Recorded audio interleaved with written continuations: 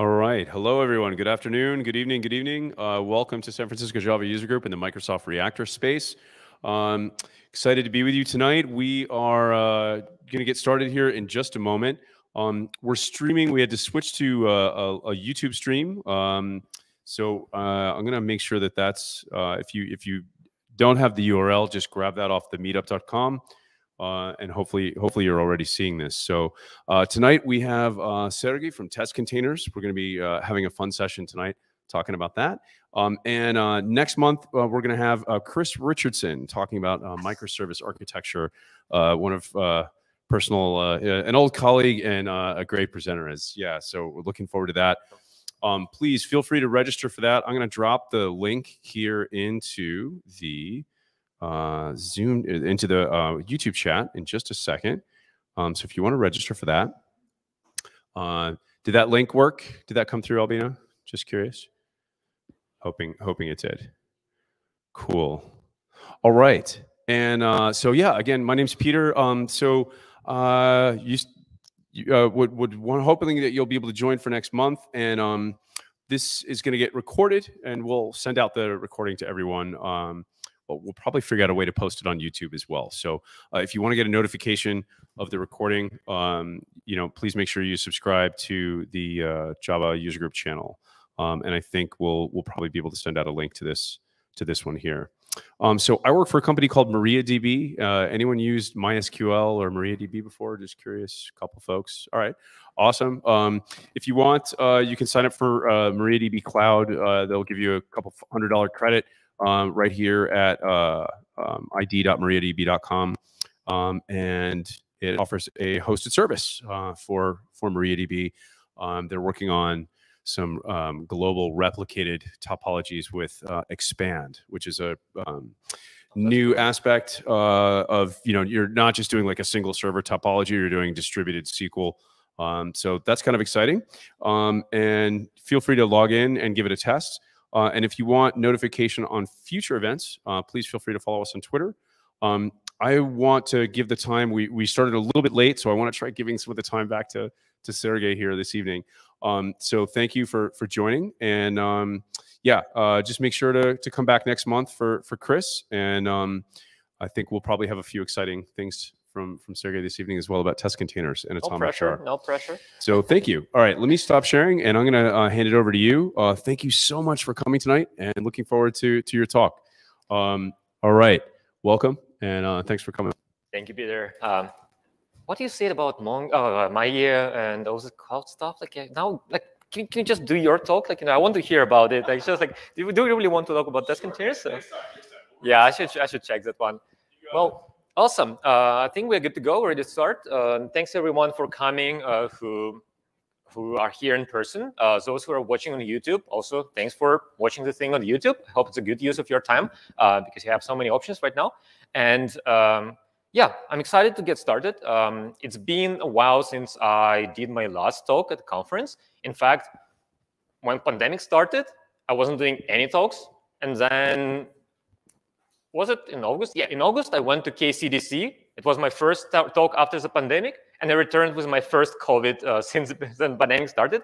So hopefully this talk, um, nine months later, won't give me another COVID, uh, but we will see. I don't mind because I'm really excited to be presenting here.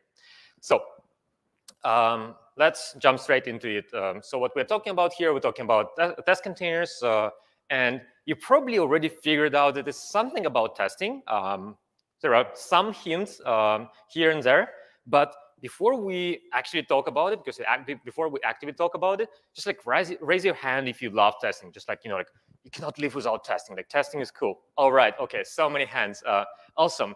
Actually, keep your hand up or raise it again if you love testing with mocks. Mocks, anyone? Okay, we have a Stockholm syndrome person here. Um, I hope I hope I will be able to convince you that there are some other options. Uh, um, but on the other hand, maybe that works for you. If it works for you, then you know why change? Anyways, uh, I love testing. Um, I'm coming from development background, um, and I happen to be CEO and co-founder of Atomic Jar, the company behind Test Containers, a project we're going to talk about here. But you know, the way I prefer to refer, refer to myself, I'm just developer with privileges um, now that I work as a CEO. And uh, in other things, uh, um, somehow became a Java champion. I don't know why someone was just like, I'm, I'm doing crazy things. Um, and I'm really, really passionate about developer tools. I mean, if you want to, I don't know, wake up, wake me up in the middle of the night after a really, really long day, and if you talk about DevTools, I'll be happy to talk about DevTools in the middle of the night. Any other topic, please don't wake up, wake me up in the middle of the night. And uh, I was also one of the original uh, test containers uh, co-maintainers uh, and helped uh, create the project. Um, but I can talk about it in a second. But before we talk about test containers, we kind of have to define why we talk about testing after all especially automated testing.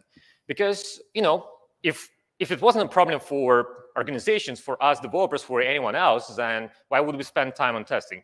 But apparently, testing is actually a major time sink for organizations. Like a lot of time is spent on testing, especially on wrong testing or on inefficient testing.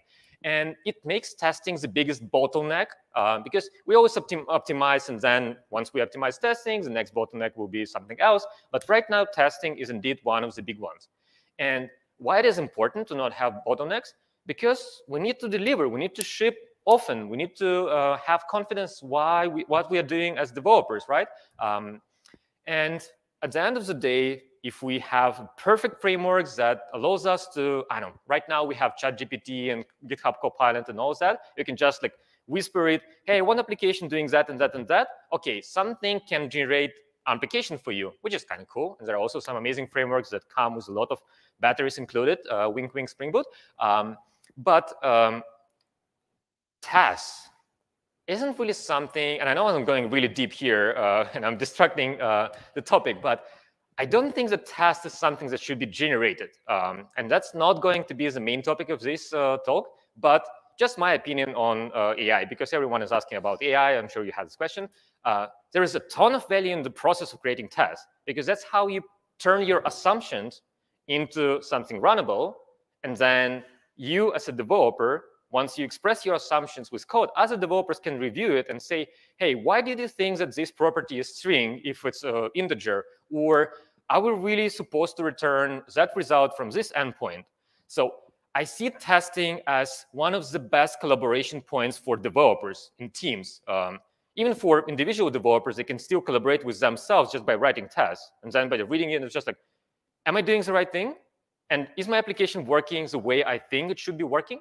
So love testing. Uh, it's the last thing I would, uh, you know, I would stop doing as a developer. Uh, there are many things I would rather not do as a developer, but testing is really, really the last one.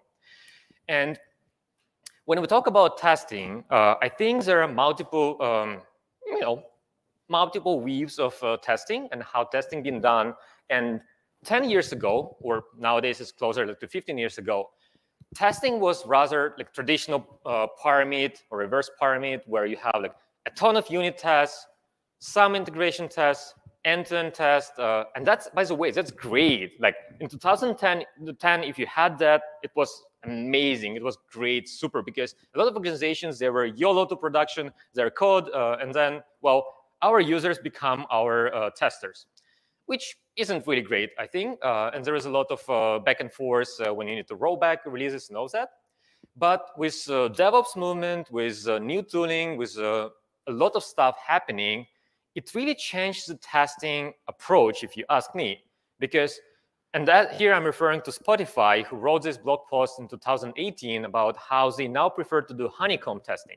And the whole idea is that um, you are no longer relying on unit tests as your main way of testing. You still need unit tests to verify some implementation details, maybe some algorithms, maybe some transformations, but modern applications, they just read from one database, perform some simple transformation, and return to some other I.O. source, be it REST endpoint or Kafka topic or whatever.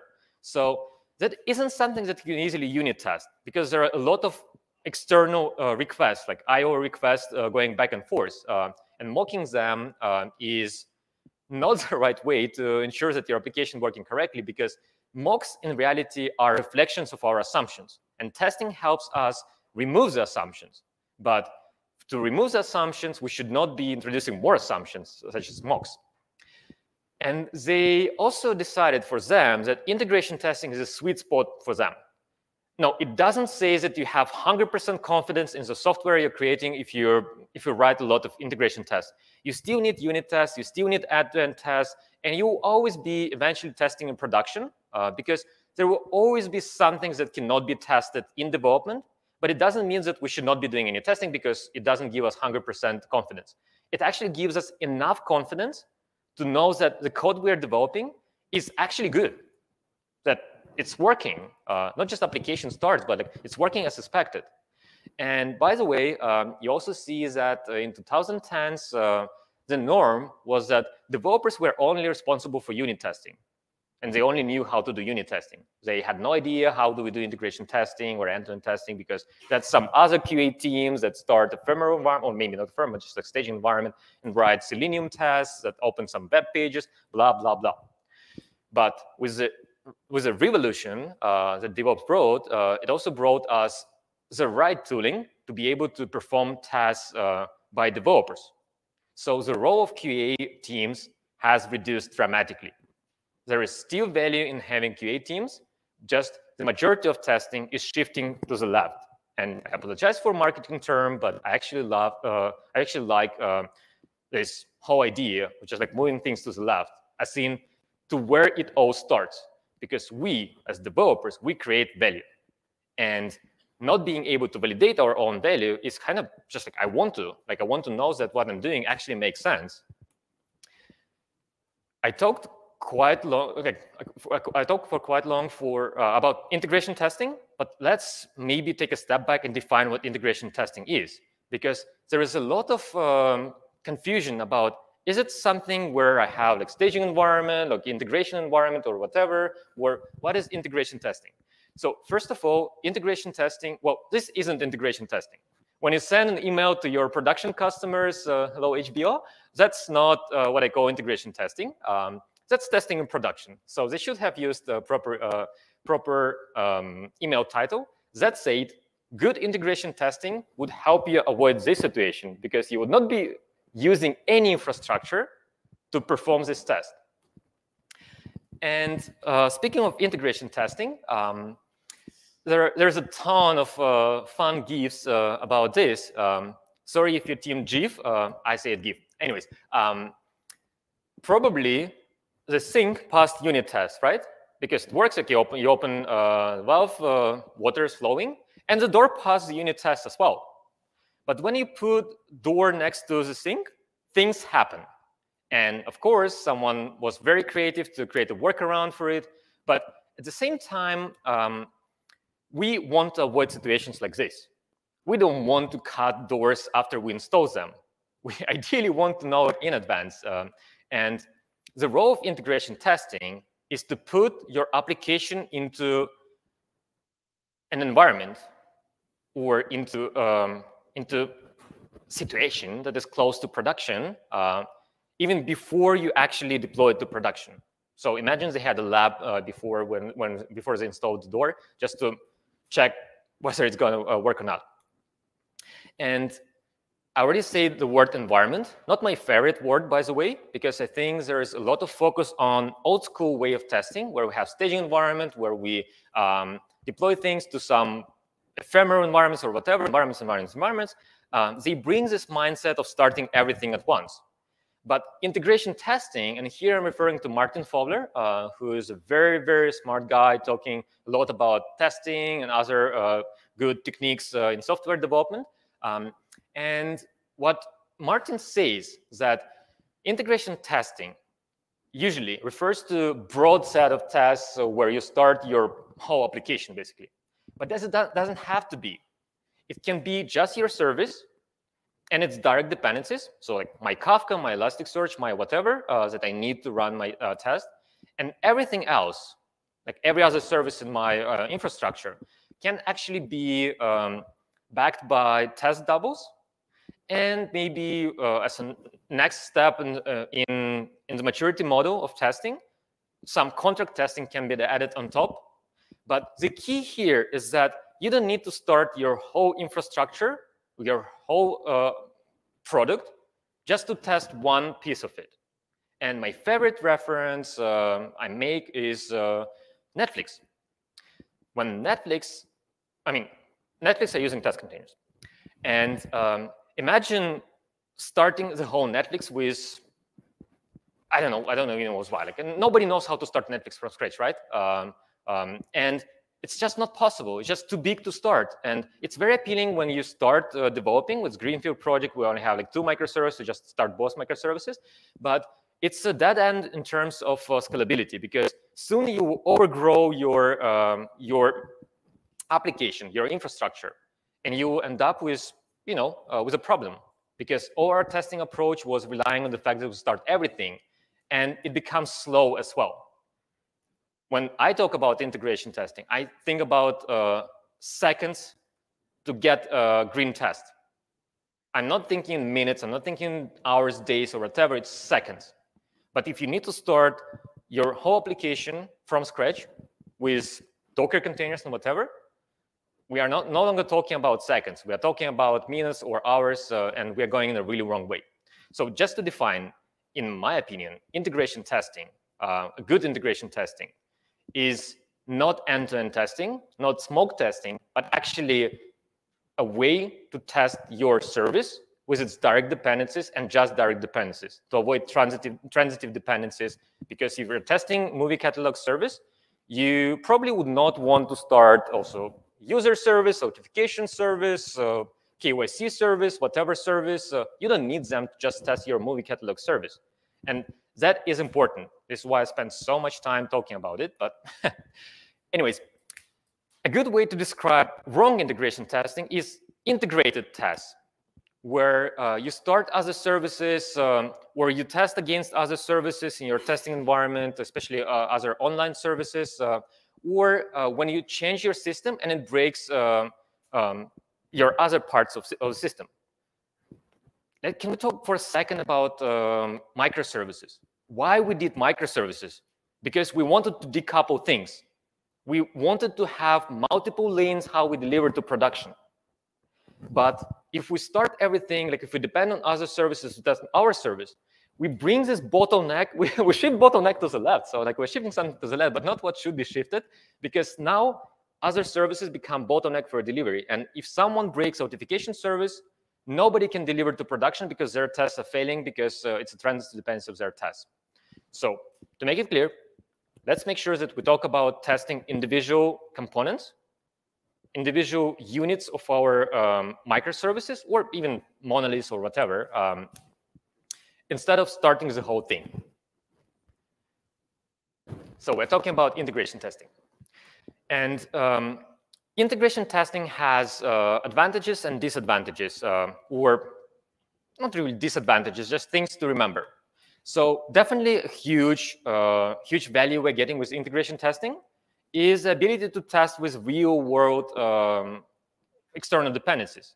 We are we're no longer mocking our Postgres. We are no longer mocking Kafka. We just use real Postgres, real Kafka, real whatever, because we don't want to make any assumption about how they work. And in fact, I worked at the company and they were mocking Elasticsearch and they ended up basically re-implementing Elasticsearch as a mock. Uh, and a lot of functionality of Elasticsearch, they ended up just building their own Elasticsearch for testing that makes no sense at all, especially if you can um, start a real one. And for a very long uh, time, it was actually challenging to start real dependencies because we didn't have the right tooling. But I think now we have.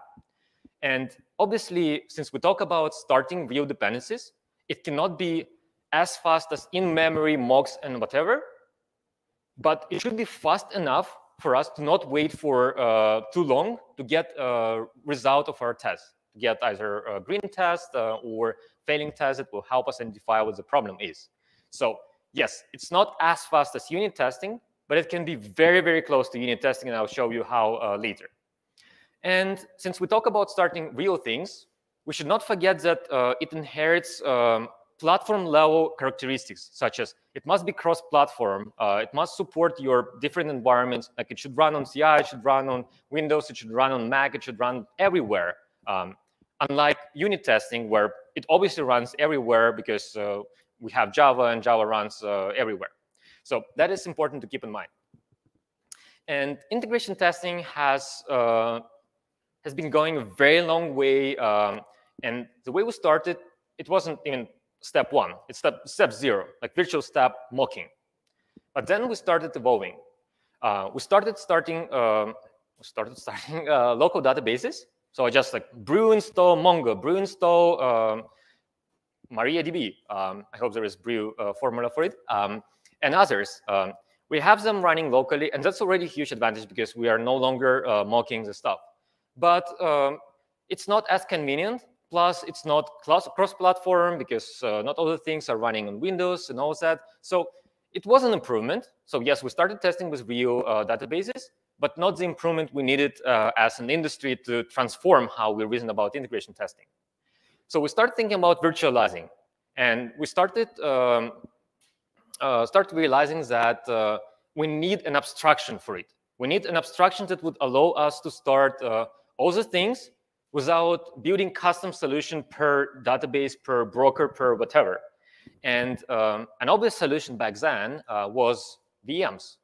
And Vagrant was actually a really, really cool tool that would let you write uh, a descriptor for your, um, for your test dependencies you do Vagrant up, uh, and you're good to go. You have them running, uh, and you have consistent experience uh, here and there. The problem with VMs is that they're a bit too heavyweight. If you need to start Redis, and Redis takes, I don't know, 10 megabytes of RAM to run, um, but you start Redis and you start Ubuntu or you start some other Linux distribution, and boom, here goes 500 megabytes of your RAM on, on your computer just to start something as tiny as Redis. So this isn't efficient. Uh, plus, it was an infrastructure uh, slash platform component that leaked into development versus developer first approach. The next step in the revolution was obviously Docker. It solved the problem of the overhead of starting VMs, and it gave us the abstraction we needed so much because um, Docker, um, it wasn't it wasn't the projects that created containers. It wasn't the project that uh, I don't came up with uh, great ideas about containers, containers all that containers existed before. But Docker popular, popular Docker made it popular, made them popular. Um, and another thing that Docker did, um, one of the best things I would say, is Docker registry. They made it very easy to share all the technologies we need to run, because otherwise, like, how do I, for VMs, where do I get an ISO for Redis? Uh, where do I get that, that, and that? I think the biggest revolution that Docker did is the tooling for containers. And they gave us a very easy tool to build containers, to start them, to stop them, and all that. And they give us a really good tool for building images and sharing them. That what's, uh, that's, that's the revolution uh, we're talking about here. And Docker was a major step towards uh, better integration testing uh, because we always needed the abstraction. That was the abstraction we needed. Not to mention that um, it is CI friendly, so we can have the same thing running on CI um, that we run on desktop. So it removes this important aspect of doing testing, test um, test consistency between different environments. Um, and we no longer need to ask our CI team to install uh, Postgres on Jenkins node ABC. And you obviously submit a Jira ticket because that's how you talk to your uh, infrastructure folks. Then three weeks later, they finally deploy Postgres to the Jenkins node. You submit a new ticket because you already upgraded Postgres in production to version uh, 9 point whatever. Um, you wait another three weeks. So that wasn't efficient. What Docker changed, it gave us an abstraction and an interface to collaborate with infrastructure folks because they only need to install Docker. And then anything that you can start with Docker, or actually anything you need uh, to run for a test, can be started without uh, without communicating with your platform team uh, anymore. And Docker is cross-platform. No matter if you're running it on Windows, on Linux, on Mac, uh, you get the same consistent experience because under the hood, it's the same Linux containers, uh, either virtualized uh, for you, but only with one VM, or natively supported on Linux. That was much needed improvement. Um, so there was Docker, but Docker alone, yes, they gave us the tooling, but is it the right level of abstraction we need? No, we need something to describe uh, what we want to start. And this is where Fig comes into play. Fig, also known as Docker Compose uh, today, was a project that would allow us to bring this Vagrant experience, but to Docker. I write a file, I describe my uh, test dependencies uh, in that file, and then I do Docker Compose up or Fig up, um, similar to how I did Vagrant up, but now I no longer run VMs, I run containers, uh, so it's much, much better. And it was a great tool. Um, like it was so easy, and just like look at it. Um, I need Redis, I need Postgres, I need Elasticsearch. I just basically ChatGPT can generate it for me, really. Uh, there is no magic here. So Docker Compose was a great improvement, but there is always some, uh, something about it. It's a declarative YAML uh, format. And the problem I see with that is that uh, not everything you can describe declaratively. For example, Kafka. You cannot start Kafka on random ports with Docker Compose because Kafka needs to know its port uh, to, to tell to the client that, hey, I'm running on this port. When you connect to Kafka, you will always have to reconnect. And if Kafka is not aware of, uh, of its external port, you will be in trouble. I have a funny story. Um, I once spent multiple hours with my colleague. We were trying to debug Kafka-related issue, and apparently he was starting Kafka on random port, and he had Kafka running uh, on static port, and he, he was connecting to that Kafka, started on random port, ephemeral Kafka, Kafka was telling it uh, was telling um, the client that, hey, I'm running on localhost 1992. Application successfully reconnected to localhost 1992 and proceeded running, but we never saw the events uh, in Kafka topic uh, with that random port because apparently it was redirecting us to another Kafka. So those details are important, but um, if it's declarative, we don't know the port uh, in advance because it's random. Um, and we don't have anything like we don't we cannot hook into lifecycle to change that. So there are some limitations of it. And I already talked extensively about port randomization, but for testing, isolation uh, is extremely important. You must be able to isolate your test. You don't want one test to interfere with another, or you don't want your CI builds to fail because someone else is already running a build uh, with Redis uh, on that CI node. You want to isolate um, your individual test runs and random ports is a must for proper isolation. And what if you want to run a container per test? Like what, uh, what if there is some states that you cannot reset, but you need to start fresh every time? With Docker Compose, you start it once and then you, you just run with it. Uh, you have no control over it. And it's an external tool. It's not part of your test. We talk about, we as developers who used to do unit tests, now we want to upgrade to integration tests. But if we don't want to restart the whole process. We just want to upgrade. We want to add something to our unit test to gain more confidence, right? So last but not least, there is no IDE integration. Like there is no clone and run experience where I just clone project and I run test. No, I clone project, I read README, I follow all the commands that I need to run. There is also section if you're running on Windows, good luck. So um, we don't want that. We want clone and run. Uh, READMEs should be in the past. We should just be able to clone the project and get feedback uh, from tests.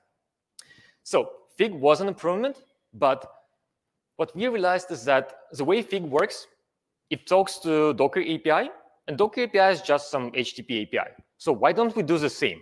Why can't we just talk to the Docker API directly and not use any intermediate tools such as Docker Compose and what's not? Actually, we can. Nothing stops us from doing so. Uh, every language has a HTTP client that we can use to talk to Docker. And that was a breakthrough moment. Um, but but uh, despite Docker being an abstraction, uh, there is always uh, a bit of pain to fight with your Docker environment. So if you're running with Docker desktop, it's var run docker.sock. If you're running Colima, it will store Docker socket in a home folder. If you're running with Rancher desktop, it will override socket from Docker desktop. Or like, it is the abstraction we needed, but not the experience we wanted. Um, because of those differences, uh, to get the abstraction consistent across uh, our environments. Um, not to mention that on CI, there are there's thousand ways of running Docker, so Docker in Docker, Docker wormhole, uh, Docker sidecar, so many options. And we are also, we were so used to embedding or kind of hard coding localhost everywhere. But Docker changed that. Um, since we are running a VM, for a very long time, you couldn't even access your containers on localhost. You were supposed to use Docker machines IP address, uh, and it still stays with uh, WSL2 and a few other uh, solutions for running Docker. So we need to get rid of those assumptions, uh, those dangerous assumptions about uh, how Docker is running. A smart guy called Richard North um, gave it a thought, like, what can we do to improve it? And he ended up creating test containers, a library, an open source library that would talk to Docker and utilize Docker from tests to power integration testing. Now you can clone and run your tests, and your tests will be driving your external dependencies. So it becomes an embedded thing uh, in your testing scenarios as opposed to something external such as Docker Compose. And um, as I said, it's not just for Java, although our, our scope will be for Java, but test containers is available in multiple languages because it's not really the implementation that makes the difference, but the approach, the mindset of having your tests, almost unit tests, um, start their own dependencies because we can, because Docker allows us to do so. And this thing is super powerful because now you are, as a developer, in control of uh, your test environment, how you want to build it. And it's really up to you if you want a container per test or container per test session, or you want to bring some chaos testing to your, uh, to your testing scenarios, now you can. And my opinion on testing is that it was taken away from developers because the first test was performed by a developer. 50 years ago or whatever, when they did their first line of code. Uh, it's probably was just like punching uh, something in a punch card, but nevertheless, uh, developer did that, and developer verified that uh, what uh, what they what they did, what they wrote, is working. But then somehow we moved to okay, I don't want to do testing anymore. Let's uh, let's have QA teams that will be, will be doing testing for us, and we lost control of the quality of software we're creating. We are now waiting for someone else to tell us that our software is not working. But why, why would we? Uh, why can't we as developers uh, do the testing ourselves? And before Docker, before uh, the modern tools, the answer was because it's hard. It was actually very, very hard to do local testing, but it's no longer. And I'll show you how with test containers. So to repeat, test containers uh, is a library. It's not a framework. It's not a product. It's just a library that you add to your project. And it becomes as simple as just instantiating objects. Like anyone can do that. Entry-level developer can do that. Just write new Postgres container, new uh, Kafka container, new whatever container. You don't need to know Docker. You don't need to know how uh, how to containerize uh, databases. It's there, available to you, um, and it's as simple as I know using Apache Commons or whatever any other library. Um, anyone can do that because any Java developer knows how to start uh, or how to create uh, objects, right? It's a no-brainer. And um, if you think that, okay, like it sounds nice, but like, you know, like it's really a thing that people are using. Yes, people are using test containers. Um, and uh, earlier last year, um, ThoughtWorks even included test containers in their Radar as uh, adopt, um, among few other uh, really good things that they advocate. But we were so lucky, uh, we were so happy to see that because um, I loved uh, ThoughtWorks uh. It's really good source uh, of knowledge and really good source of uh, I discovered so many tools for, for the Radar. Um, so we were happy to see that, but why they did it? They wouldn't add it to, um, to their Radar if they didn't think that this is something that applies to almost everyone. It's not a niche thing. It's, uh, it's a generic thing.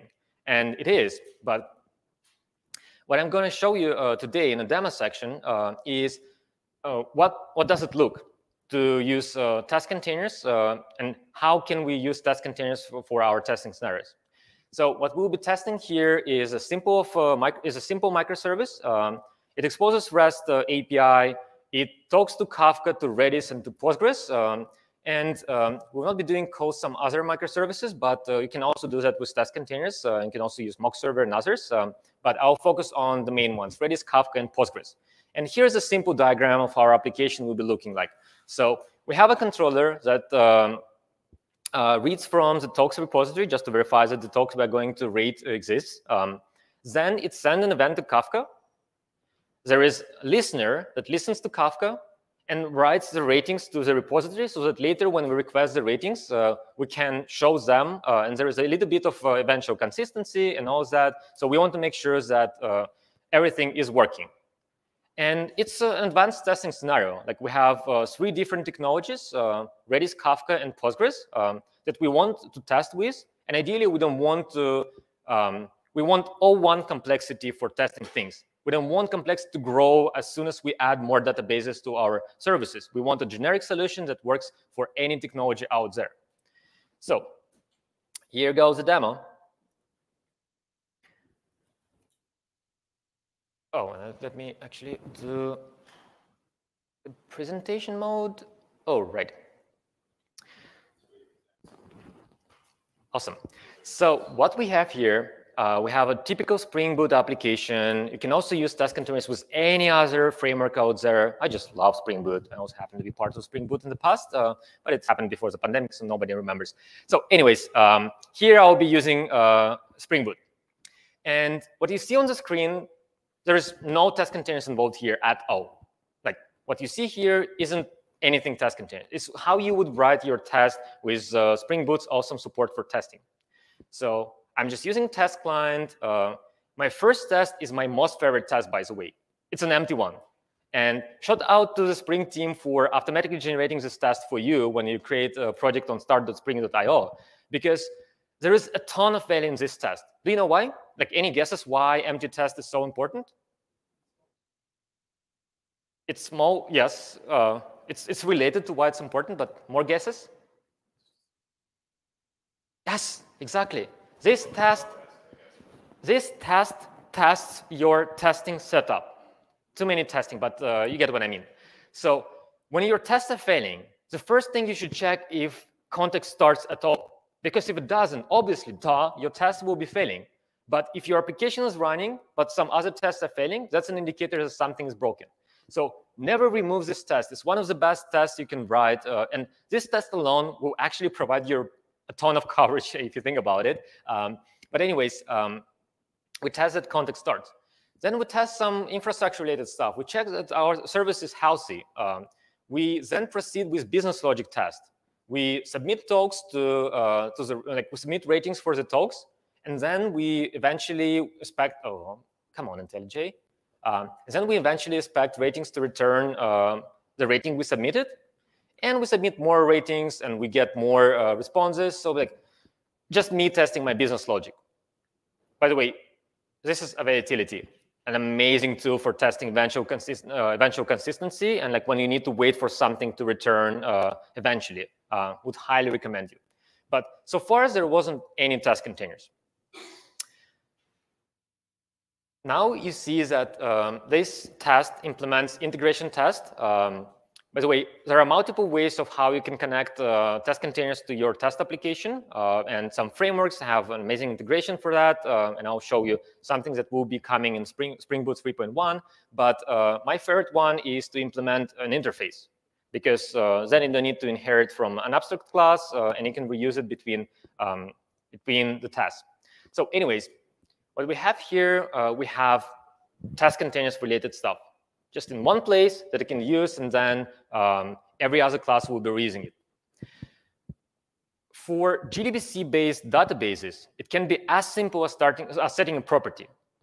Test container supports magical URL here. So um, you just specify uh, the magical URL, and boom, it will start Postgres for you. So you don't even need to code anything. You can actually put it to your application, the properties and test folder. Um, so that's already great. But um, what if we need uh, something that is not JDBC? It's not that more complicated. Uh, as I said, it's just a few lines, um, and we keep the promise. So here I'm using Redis and Kafka. And uh, for Kafka, we do have a module. And in fact, you'll see that we are using uh, Kafka's uh, official images. In fact, if you're running Confluent platform, uh, then that's exactly the same image they would be using in production with their Kubernetes operator or what's not. So that's literally the same Kafka you run in production. And you have full control of the version too. If you're running Kafka 4.5.4 uh, in production, you should be testing with Kafka 5.4 in production.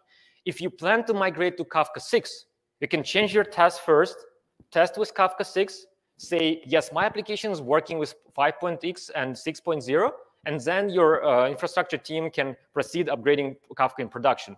This is very powerful because you can do it on your laptop, not on staging environment, not on CI, on your laptop. Just like, hey, Sergey, does your application work with Kafka? let's try. Uh, I mean, that's, that's how it works. Like, that's how it should be. Uh, our answer should always be, let's try.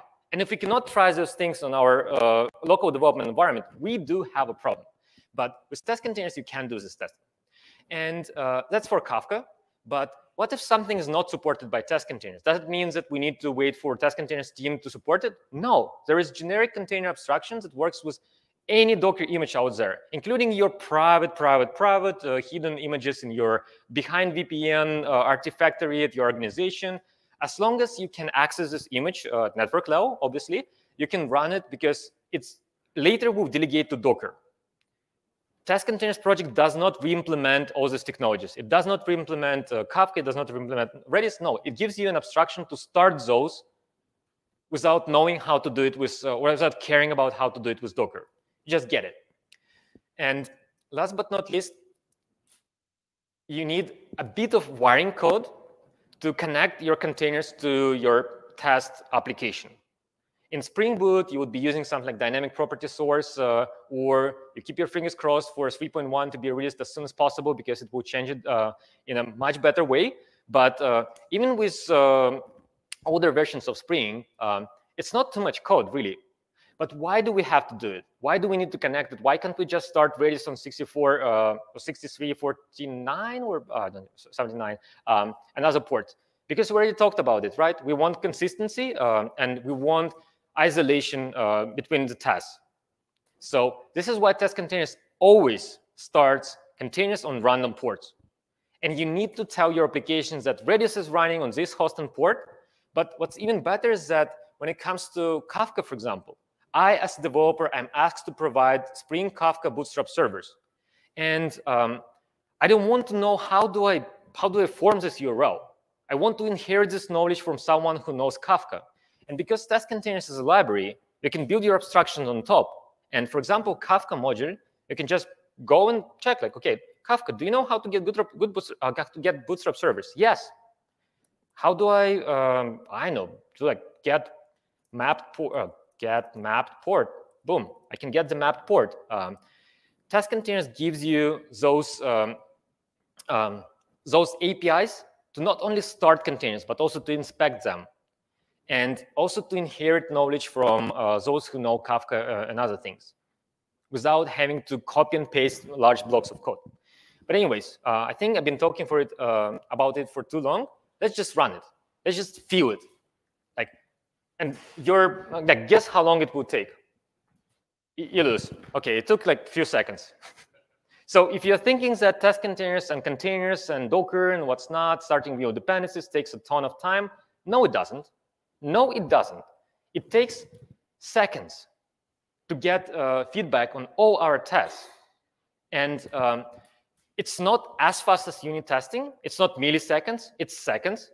But it's still insanely fast compared to waiting for QA team to, uh, to return tomorrow to you with, uh, with this, this big list of uh, bugs they discovered. Um, and in fact, uh, it removes the bottleneck because QA team becomes a bottleneck.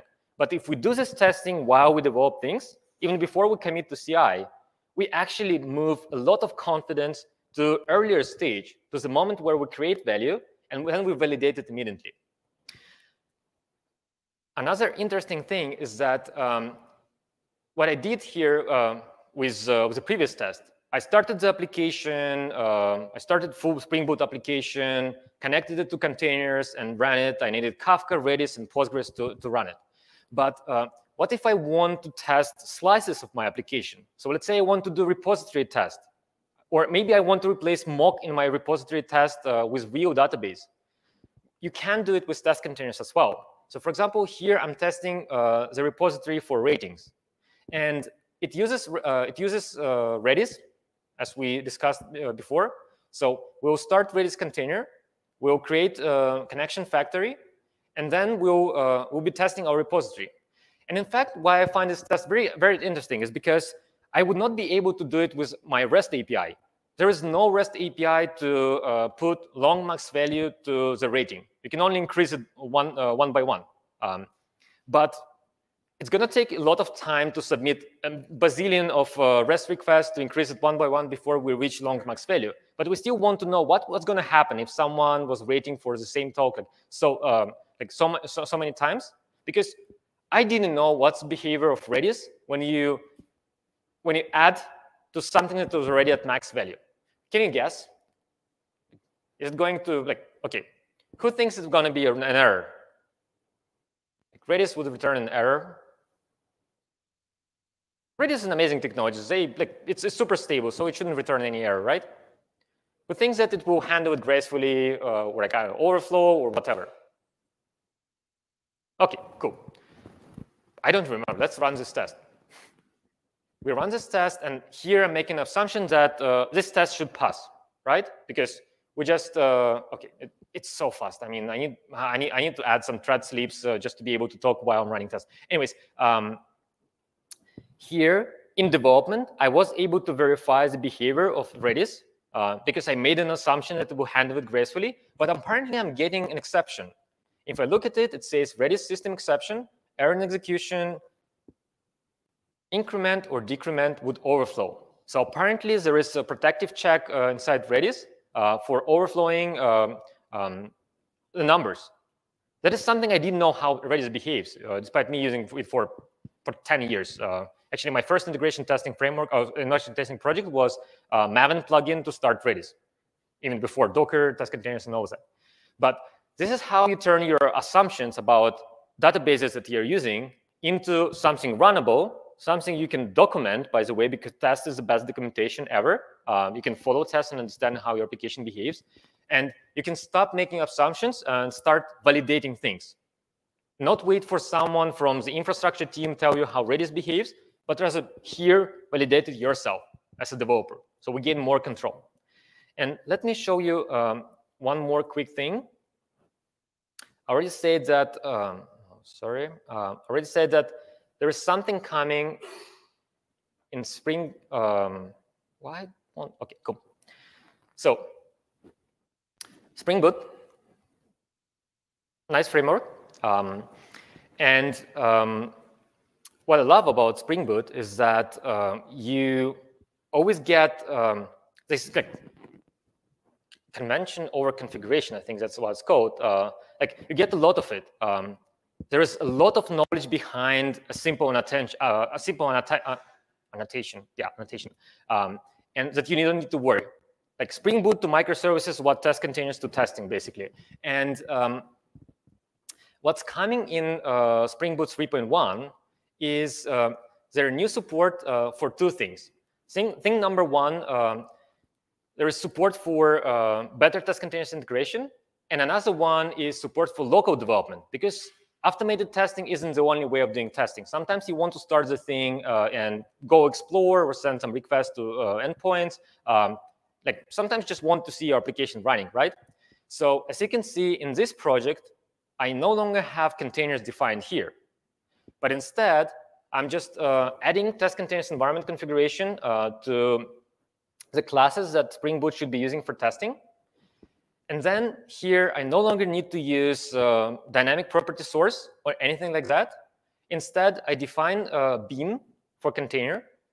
I mark it as service connection, and that's the best part. Uh, that's, that's Spring Boot test containers module that will automatically connect it to Postgres, to Kafka configuration, to what's not and it's extendable too. So you can uh, write your custom ones. So now I have this simple class with two beans for Postgres and for, for, uh, for Postgres and for Kafka. And I can run my test in a similar way. So as you can see, uh, it's not the same um, scenario, um, test scenario, but uh, it, it, gets drilled. And as you can see, since spoiler, I'm using Test Containers Cloud here, but um, I didn't uh, I didn't download the images before. But test containers will download the images for me, and you get this clone and run behavior no matter what you're running, whatever you're running. It will take care of, uh, of it for you. And the best thing is that it will ensure that the containers are terminated after you run your test.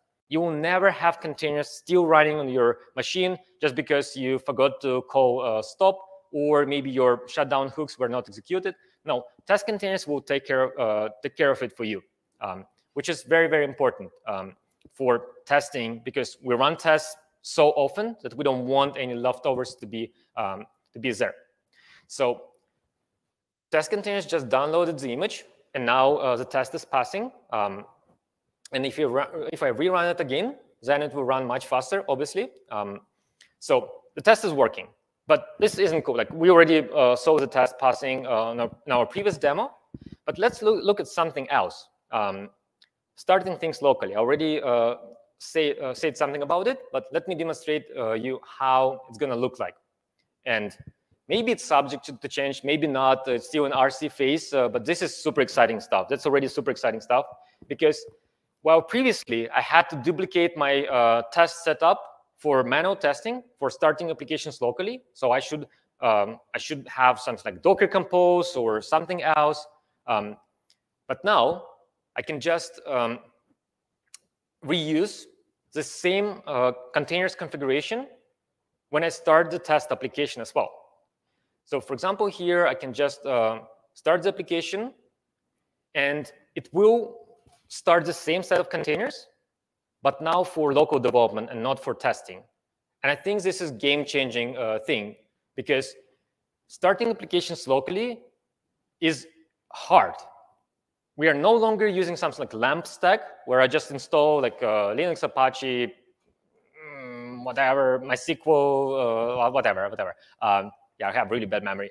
But it's becoming harder and harder and harder. We now have Kafka, we now have Redpanda, we now have uh, Cockroach uh, DB, we have a ton of stuff um, that we need to start locally, and the complexity is growing. But this brings back brings the complexity back to all from one, because now if we already have this test set up, we can just reuse it for local development, and that's really cool. I can just go and uh, do some queries. You know, let me uh, add a product. Boom, done. Um, and as you can see on the right side, it's now in the database. I can add a second, uh, or actually, let me show you something else. Since Spring Boot supports uh, DevTools mode, what we can do, we can go and change this here, recompile the class. I'm doing the right thing. Boom. And we already have a new version of our application running. So I submit a second product in less than a second. And as you can see, the, st the state is preserved. So I keep the containers running even if I restart my application, uh, because DevTools will take care, uh, take care of it for me. And I can iterate on my application while locally developing it uh, without having to restart it uh, every time, without having to restart containers every time, with clone and run behavior. So I just clone project, I start test application, and I'm good to go. Yes. Time check. Did you say that was, is that because of Spring Boot's um, uh, dev tools, or is that a test containers feature that allows it to kind of reach in and do the redeployment yes. without it's, restarting the containers? It's the best of both worlds. Uh, test containers providing those containers, yeah. and Spring Boot providing an easy way to start them and okay. also preserve, preserve them between the runs. And uh, I'm also showing you some things that I didn't even show to uh, most of the uh, Spring Boot team, sure. but this single annotation actually makes the whole difference because now it says that okay this bean should be preserved between uh, between the restarts and while usually you would do it for beans that are I don't know expensive to create or store some state containers are obviously very expensive to create. So we don't want to recreate them every now and then. We don't want to lose the state. But you just add this one annotation and boom you're good to go. How cool is that? Um, so that's really amazing. And let me do my last thing when it comes to this demo, because there was a bit of a clickbait in the title saying like you can run your tests on your desktop, on your CI. It's the very same thing runs on CI, uh, obviously, because it's the same Docker and all that. But there was also mention of coffee machine. So what did I mean by coffee machine? Um, so no, we are not going to run our tests on coffee machine right now, um, but I referred to, uh, to the project that we to the product that we created called Test Containers Cloud, because not everyone can run Docker on their machine, or not everyone wants to run Docker on their machine, or not everyone has CIs that supports Docker, and many, many, many other reasons why uh, Test Containers Cloud. But I'll focus on one, consistency of test containers experience across any environment you'd run your test in. And to demonstrate you the extreme of the consistency, I'm going to switch to my HDMI adapter here, uh, HDMI input adapter. And here you see Raspberry Pi. It's Raspberry Pi 400.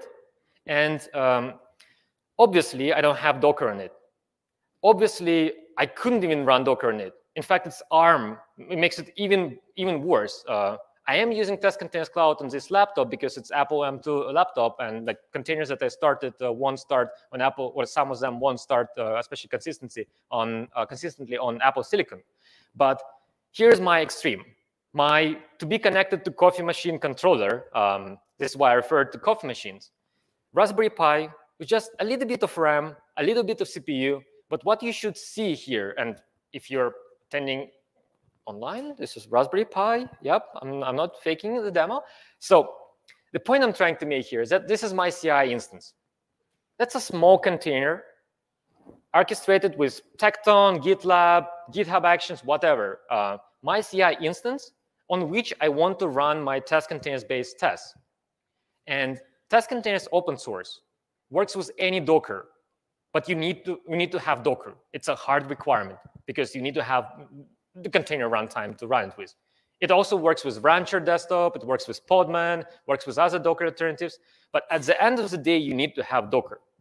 And if you're um, if you're running on your ARM-based CI uh, infrastructure or containerized CI infrastructure or whatever infrastructure, you don't have Docker there. But Test Containers Cloud, uh, the project that we created, is a tiny agent that you can run that doesn't require any privileges, which is great for security. And it allows you to run even the most heavyweight test containers-based tests on underpowered devices or on uh, restricted devices. So what I'm doing here, as you can see, it started running, and I hope it's big enough uh, for you to see. But um, I'm running the tests, and not just the tests. I'm running four rails of tests. And as you can see at the bottom, I see H, oh, I have htop showing the CPU utilization. And yes, there are some spikes to compile uh, Java or to start Spring Context or whatever, uh, or actually to execute the test. But we give 100% of uh, our CI instance resources to the tests themselves, allowing us to run tests in parallel because we only run JUnit code. We only run our Java code. We don't run any of the containers. And on the right side, you, you see four rails of containers. Um, so we actually aren't just running it with one session. We're running it in four sessions.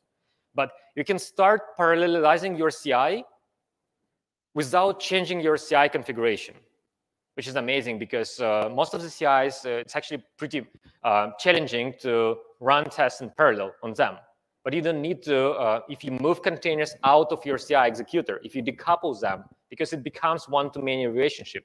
One test runner can now run multiple test sessions um, with zero changes to the CI config. And um, despite it being Raspberry Pi, like pretty slow device, although I'm actually impressed with the latest uh, editions. Um, here we ran uh, our test in one minute, uh, 10 seconds. And we ran um, 100,000 uh, messages sent and, uh, and read from Kafka in four parallel uh, test classes. So that's a lot of requests going on. But because we run it in parallel, we, we uh, pipeline them and we get result very, very fast, even if I'm constrained by resource of my machine. So if you have this question of, okay, test containers are nice, but containers, like I don't have containers uh, uh, at my organization, or maybe I don't want to, you don't have to uh, if you're using Test Containers Cloud. Um, and sorry for a bit of a kind of commercial pitch, but uh, the good thing is that you can go and try it uh, at any moment of time. Just go to testcontainers.cloud and it's free to try uh, and all that. And um, it's a very easy way to start with test containers if you didn't use it before, because you don't need to uh, add this additional step of do I have the right environment? Like, do I have Docker configured uh, correctly and all that? You just start with them, you run, and then you make your call uh, whether you want to continue or not. But um, it's the easiest way to start with test containers. So I hope you enjoyed uh, these demos. Yes, question from the room? Mm -hmm. So my question is, this one just happened over the cloud, not on the Raspberry Pi that you have, yes? Yes, that is correct. The question was, uh, did it happen uh, in the cloud? Uh, were, uh, were some containers running on Raspberry Pi? No, no containers were running on Raspberry Pi, only the Java code that orchestrated this, the thing and the tests themselves that you didn't need to send to Test Containers Cloud, but they continued running on uh, Raspberry Pi. But containers, the heavy part of your testing, were running in the cloud, but you didn't notice it because it's a transparent, um, um, transparent solution for test containers-based tests. Sure, thank you. That's a good question, Tom. Thank you. I imagine it's also pretty useful if you are trying to replicate a really complicated environment and you start running out of space on your laptop, right? I mean, if you have like a database or five databases and Yes. message queue plus, I don't know, a bunch of other middleware that could, unless you have a pretty beefy machine, I could see you kind of running out of, you know, running out of resources at some point too. That's definitely the case, uh, Yep. and um, it. Even though you're uh, growing the complexity of your test setup, uh, Right. it will feel the same. And what's also important is that um, right now, when you run your integration tests, if you run them with local containers, then basically, like you go and make yourself a coffee because it requires a lot of CPU to start containers for obvious reason. But then it introduces interrupts in your development process and it forces you to context switch while running the test. It's still a matter of minutes, but that's a context switch that you need to do while running the test. While if you offload your containers to the cloud, you can run your test, it will consume, I know, 5, 10% of your CPU, and you can actually continue coding, or maybe you can enable after testing mode, and then you'll just be coding and continuously getting feedback on your, um, on your application. And then boom, you refactored one class, you thought that you didn't break anything, but apparently you did because those tests are now failing. You can now uh, enable that, uh, that behavior. Yeah, and I mean, if you're trying to test with like the, the closer the closer you get to trying to test what your production environment looks like, right? The better the better off you are, you know. And that could take a bunch of forms: the data, the size of the data in your database, the amount of systems. So I can see a lot of benefits there. Just not just reducing laptop performance, but like being able to more close closely approximate what a production environment might look like because you're not constrained. Totally. Um, if, if anyone else has questions, please jump in. Uh, yeah, if you don't mind using the mic, it'll just it'll help folks on the stream hear you. You have to uh, keep it a little close.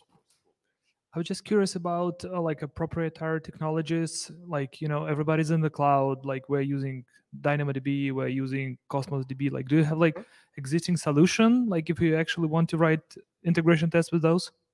Awesome question. Um, it reminded me about something important to share because, uh, as I say, there is quite a bit of test containers adoption. But what's happening now is other vendors, uh, such as LocalStack, which is a solution for testing AWS resources, such as DynamoDB, SQS, S3, and many, many others, uh, or I know, CockroachDB, or Redpanda, or MariaDB, hopefully, wink, wink, yep. Um, they are joining test containers as official module partners, meaning that they start advocating test containers as a preferred way to test and develop with their technologies because those modules make the whole difference. It's no longer YAML you copy from one project to another. It's an actual module that maintained uh, in collaboration with the vendor, bringing you the best practices of testing with their technologies.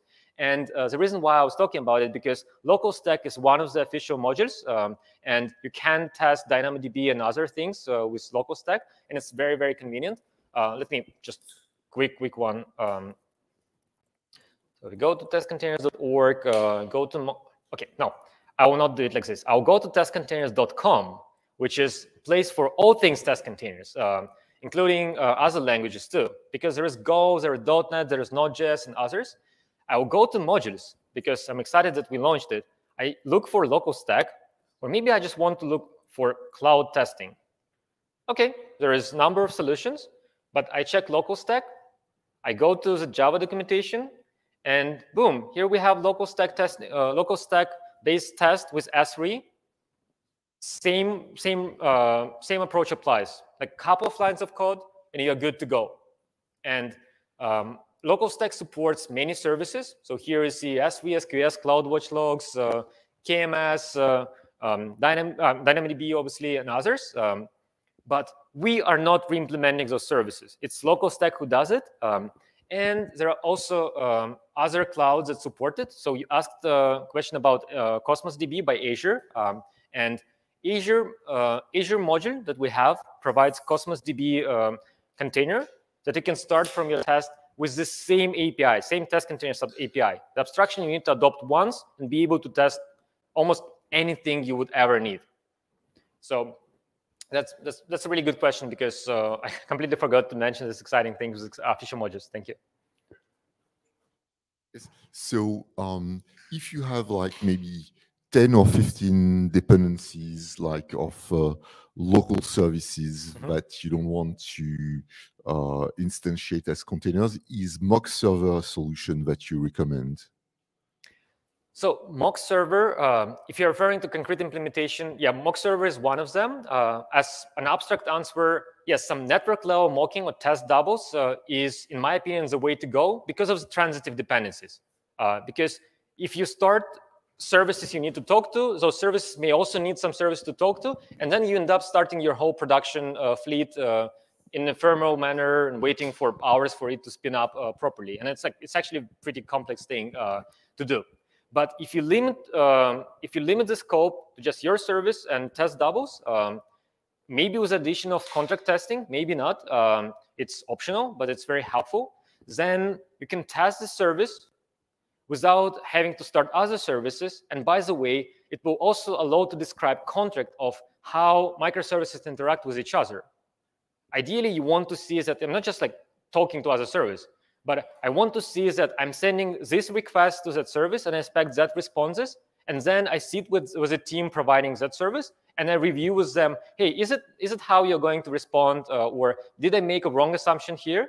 But it's reviewable and it's visible to uh, teams. So it brings better collaboration between the teams versus I'll just start their service and I, will hope that uh, everything is working.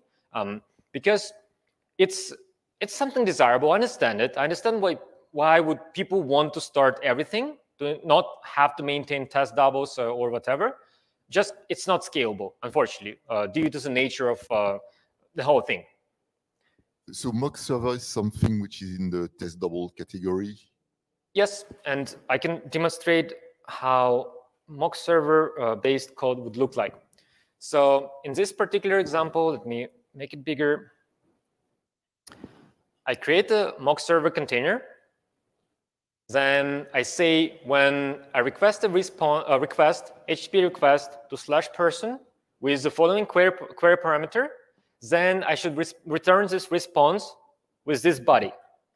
It will probably be JSON or uh, your preferred uh, protocol, but um, same thing, um, you know, like same, same thing, same thing applies. Uh, I'm just defining almost like I do mocks, but instead of doing code level mocks, I do them with network interactions that can be review, uh, reviewed. And unlike code mocks uh, that make assumptions about the implementation, those interactions actually are always contract based. We're not just sending random, hey, run this query for me. No, we send requests to, okay, I want to create person with this parameters, or I want to get a list of users, or I want to do that and that and that and that. And contract testing is how you automate it. But even without contract testing, you can do it uh, with um, test doubles. Thank you.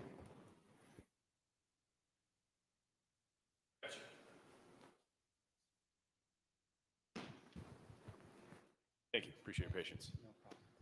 Uh, the second question I have, is it possible, I'm not sure even, that like Tomcat, that is part of a package inside a Spring Boot, you package, you know, the whole Docker as well and just instead of you know installing docker on your desktop you run i mean you just run your test code. I mean is it a possibility or a feature that you can think of in future as well?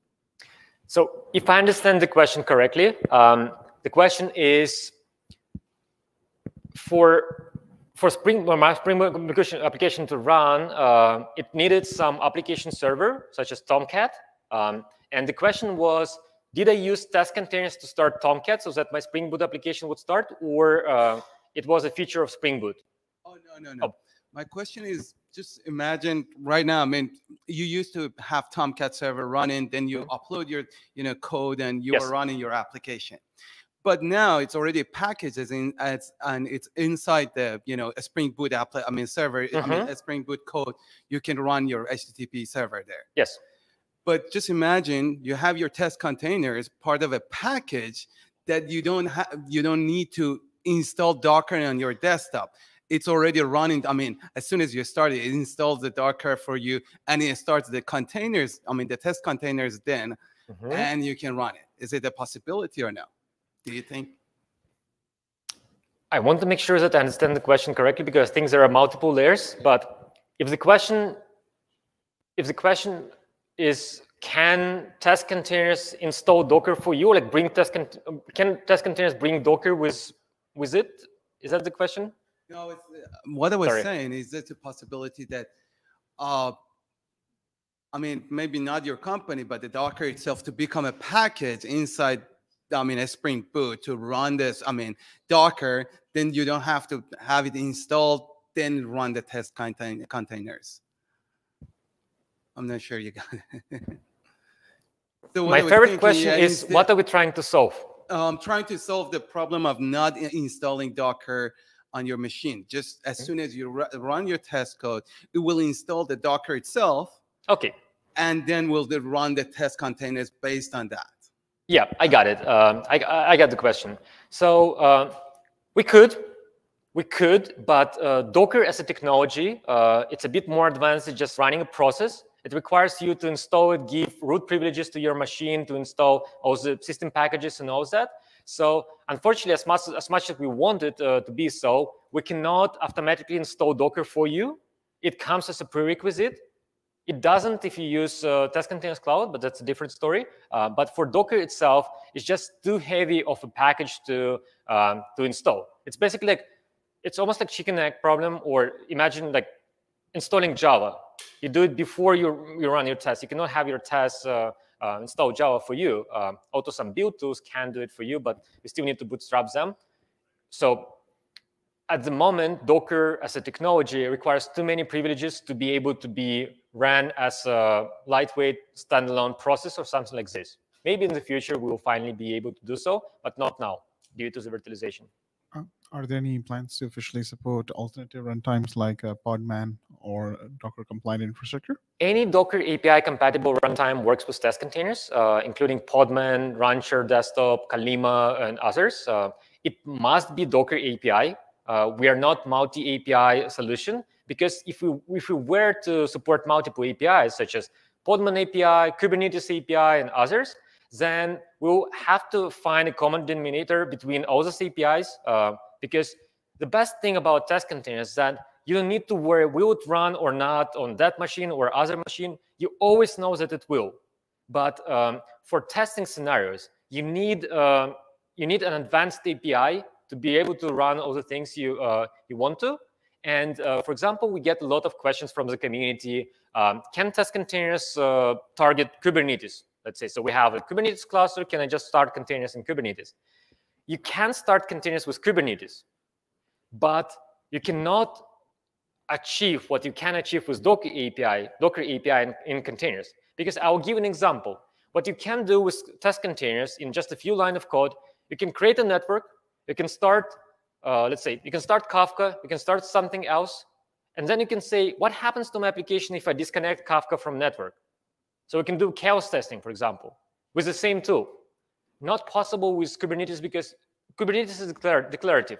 You cannot say disconnected from network or connected to network. You don't have those abstractions because Kubernetes is already an abstraction. We are at the same level with Kubernetes when it comes to consuming container API. So um, just to give you a perspective on why Docker API and only Docker API is because it's powerful. It's the most powerful API out there for integration testing.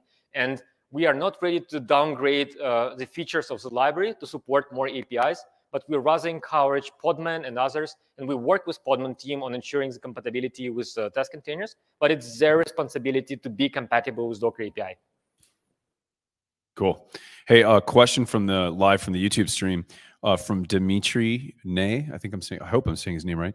A question for you, uh, Sergey, obviously. Is there a preferred way to provision a seed data into databases in the world of test containers. That's funny. We were you and I were just talking about this a second ago. Something more modern than DB unit, for example.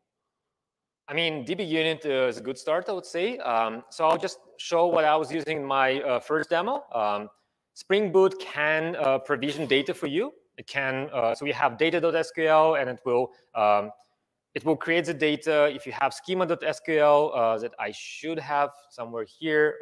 So yeah, schema.sql, and then Spring Boot was uh, would also create those tables for me. Um, and in general, you have the following three strategy.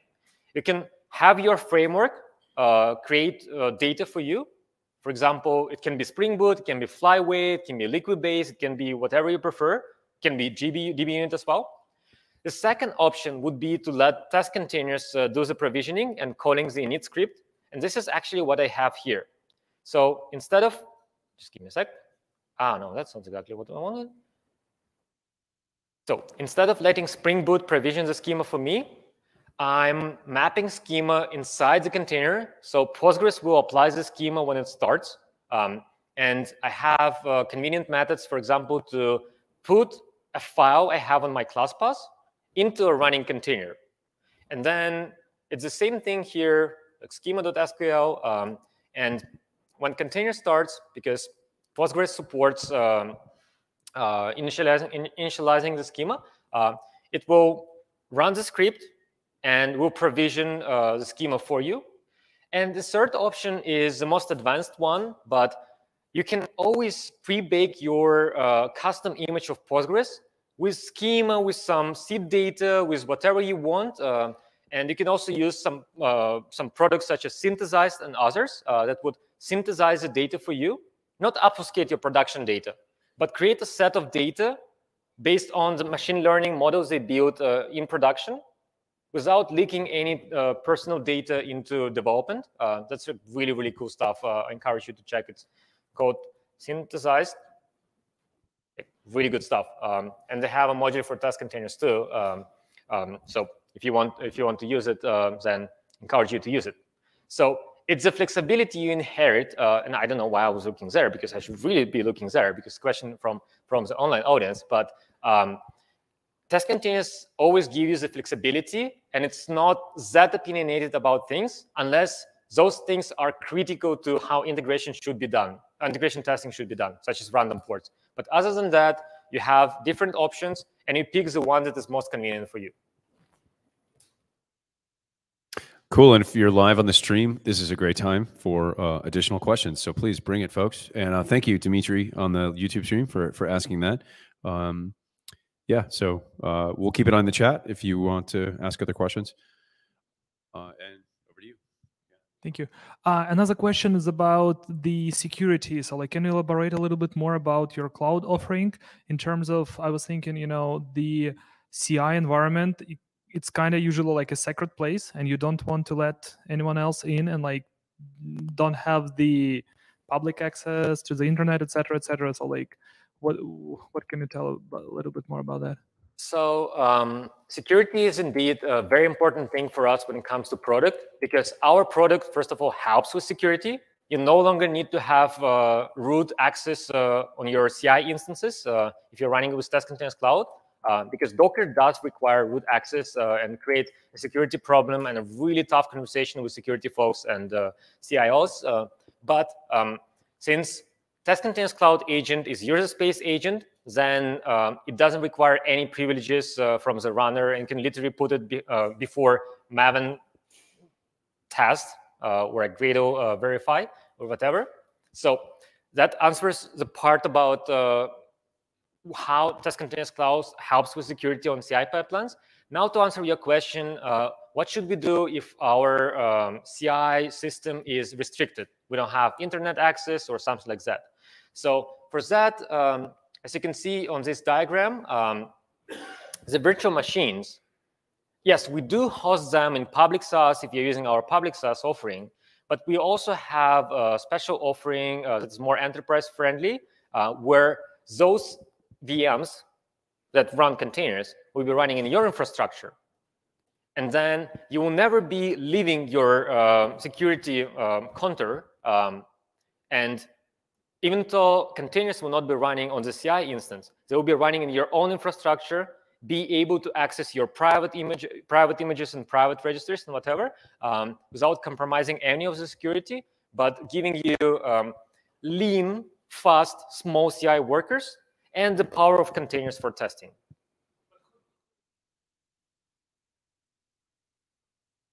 The question. Mm -hmm. The question was like, who is managing those uh, instances that you were talking about? Is it your responsibility or is it our responsibility to install some software to actually manage those? Yeah, using Test Containers Cloud public SaaS, you can think of GitHub Actions, for example. You can have GitHub Actions that are hosted by Microsoft.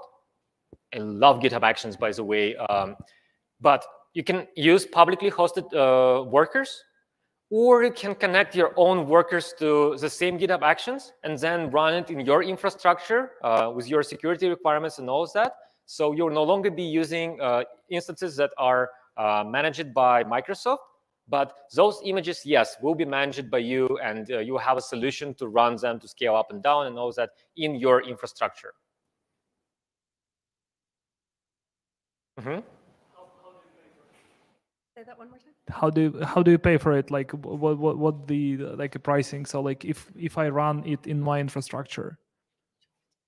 So speaking of the pricing, just to set the expectation, you ask for it. I I, I didn't talk about it. You ask for it. Um, but to make it clear, um, all this awesomeness with cloud and all that, uh, you get it 24 per 7 on desktop for 17 bucks a month, which is pretty good deal, I would say. Um, and on CI, you get usage-based pricing because we cannot predict how much you're going to consume. Like on desktop, it's obvious. You will never consume more than 24 multiplied by uh, 31 multiplied by whatever. whatever.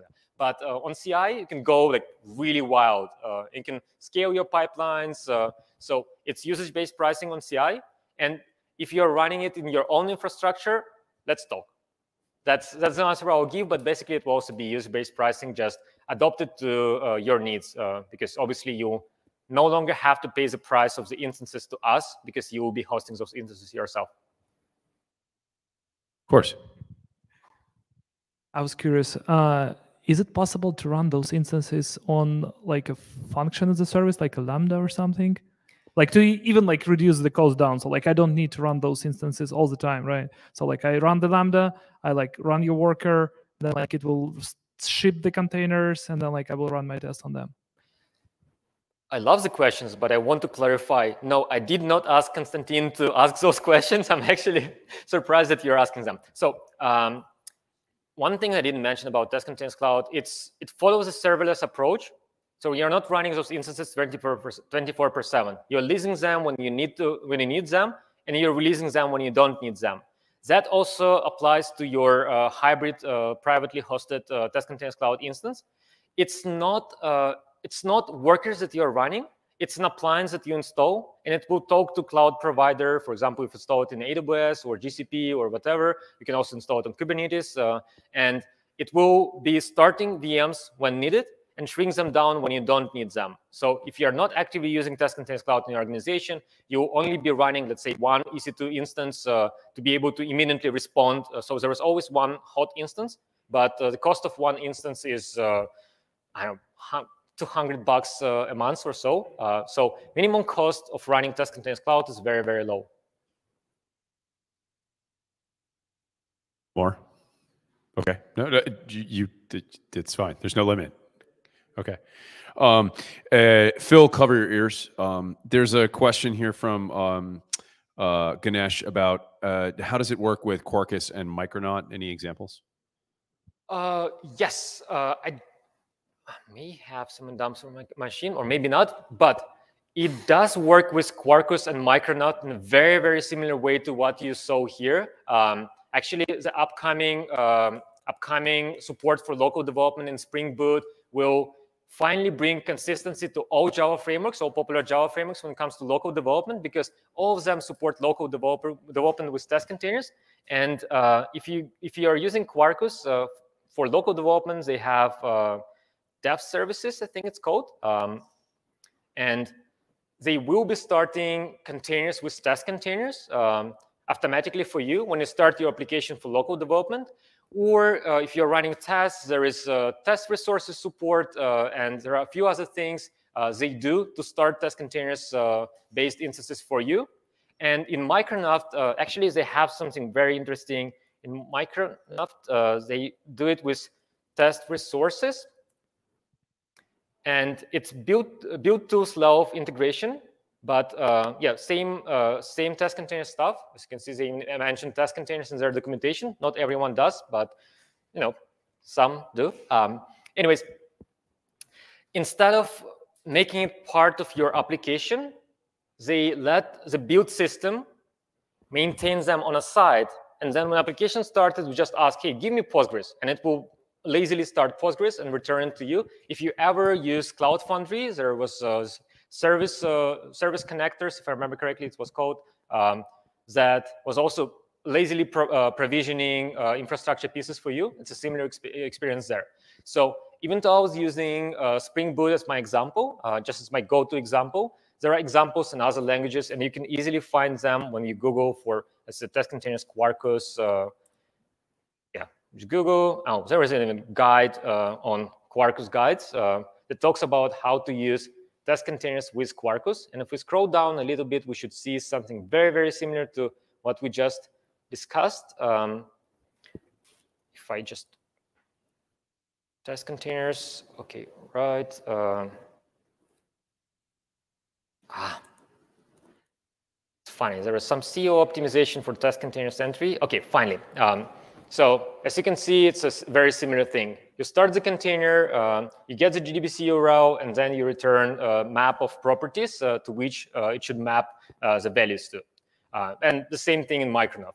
So test containers, uh, test containers is a library, open source library in Java that can be used from any framework, including your custom private framework that nobody's seen other than you. Um, it's just I was using Spring Boot for an example, as an example. I think that's it for questions from the live stream at the moment. Uh, anyone else? Don't be shy. Yeah, yeah. Okay. All right.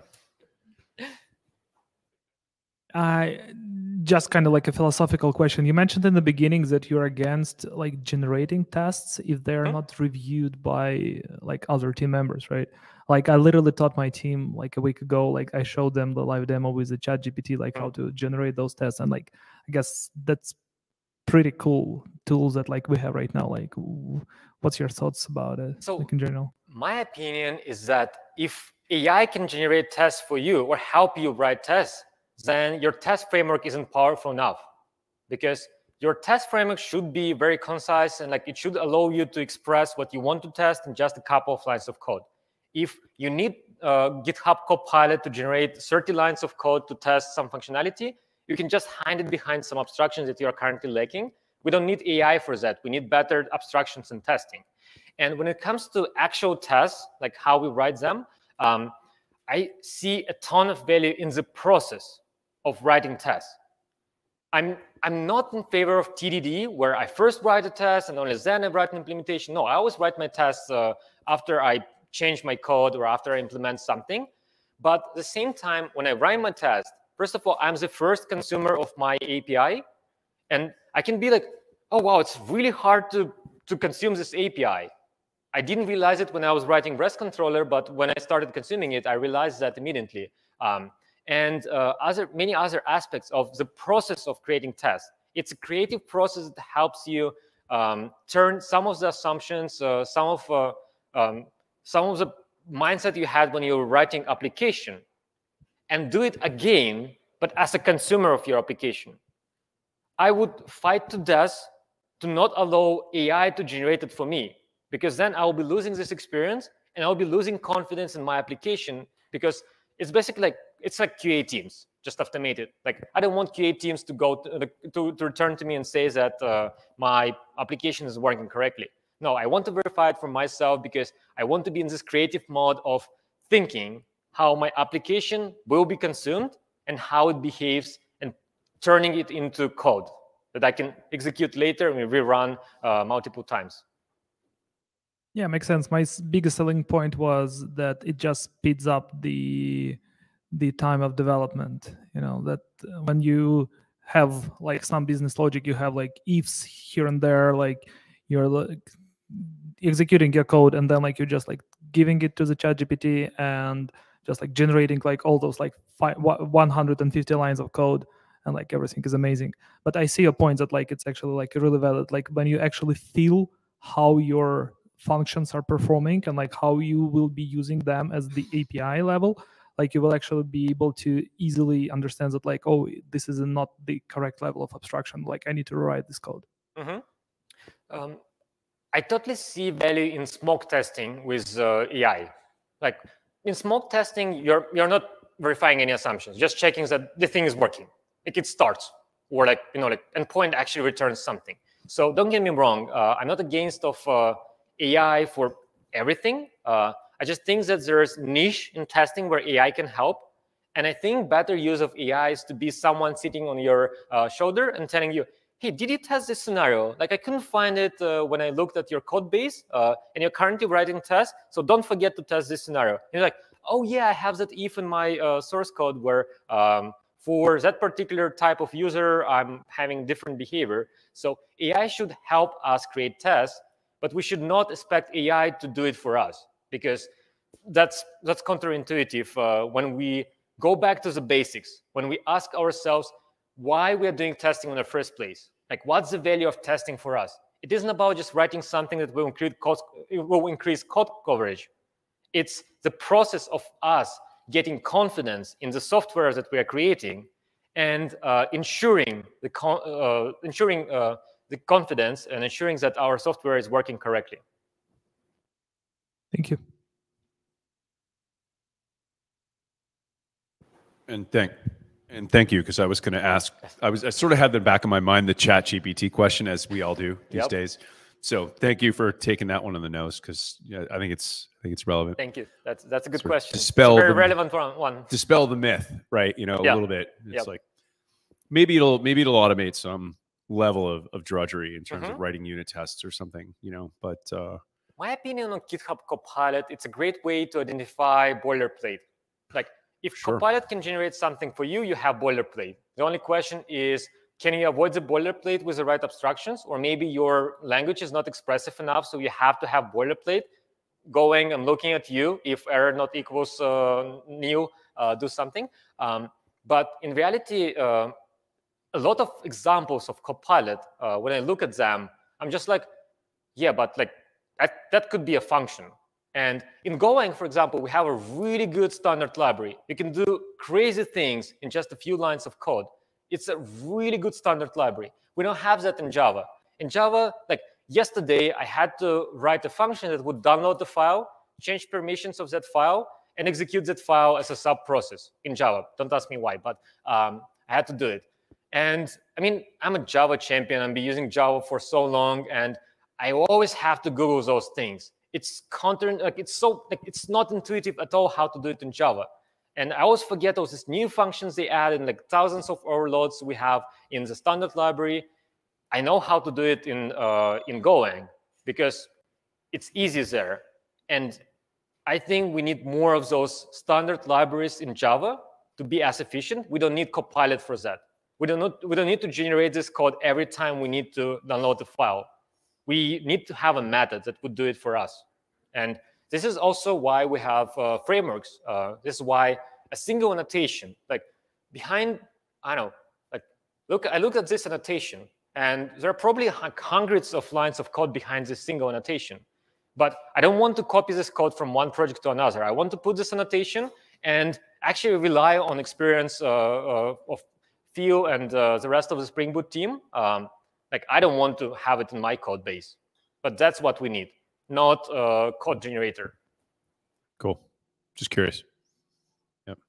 Me too. I don't know. I'm like, Yeah, no, I mean, you know, uh, Spring had its had its moment with code generation, right, Phil? You know, well, a long long time ago, and I mean, it's still around. I think Spring Roo wasn't it called? Yep. You know, but uh, yeah, like most code gen utilities, they sort of eventually kind of seem to fade away, don't they? But anyway, I, I think Copilot's a little different than CodeGen, but that's not why we're here tonight. So let's Yeah. let's not get off on the ChatGPT thing too much. Sorry, but uh, great. Uh, anything else that we want to chat about? If not, we can just kind of hang out for a bit. And I think Albina is uh, uh, will will let us stay for a few more minutes because Mhm. I think we have until at least eight, and it is a little bit past eight, but that's okay. Albina's awesome like that. So, anything else, folks? Okay, let's Right. give a round for Sergey. Thank you, Thank you. very much. Thank you very much. Thank you so much. Very warm audience, very welcoming. Uh, it was a pleasure to present to you. I hope it was helpful. Uh, I hope at least some of the stuff I was talking about can be practical for you, that you can apply uh, tomorrow and get back to, uh, tonight or something. Um, and you always know where to find us. Uh, you just Google test containers, and uh, we did a good job at SEO. Um, just a quick one uh, takeaways testcontainers.com for all things test containers. Um, test containers open source, test containers modules, test containers what's not. Test containers cloud is a fun thing to play with. So if you have five minutes of your time, because it literally takes five minutes of your time to have it up and running, including signing up with account, brew, install test containers cloud uh, client, and all that. Um, test containers works everywhere. Uh, it's my old slide, by the way, uh, from five years ago where we didn't have test containers cloud. So it says like works on Linux, Mac, and Windows. Now should add and coffee machines because this thing is you know can be can be controlling coffee machines and wow, you can run your container-based tests uh, on low-power devices now too. Um, but what you can really think about is portability of your testing um, and um, uh, yeah, the great thing uh, like the value you're getting without uh, the complexity you need to run uh, you, you need um, to have to run your tests with. And pizza and t-shirts apparently. So take some pizza Yep. with you okay? And then t-shirts? T-shirts. T-shirts here. Yep. over here. Okay. Thanks everyone. Thank thanks you so much. All right. And thanks for those who joined online